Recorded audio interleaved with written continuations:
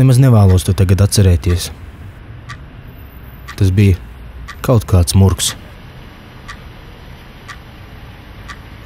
Ja tu neesi ar to uz to, tad tas tev var radīt reāls problēmas, un man tā bija.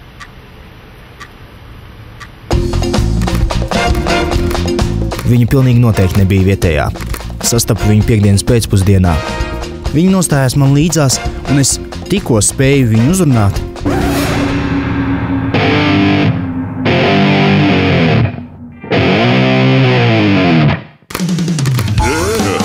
Nedēļu vēlāk pie mums atbrauca kolēģi no ārzemēm.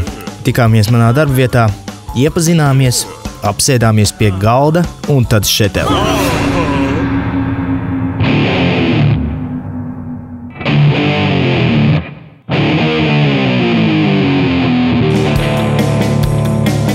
Tas sakoja man, lai kurp es dotos. Tas reāli gandēja manu dzīvi un kļuva nu neizturami kaitinoši.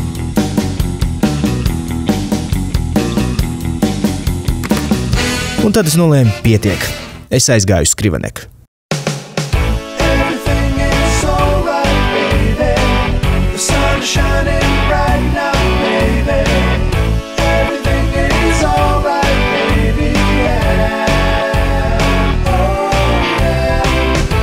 Neļauj valodai sevi ierobežot.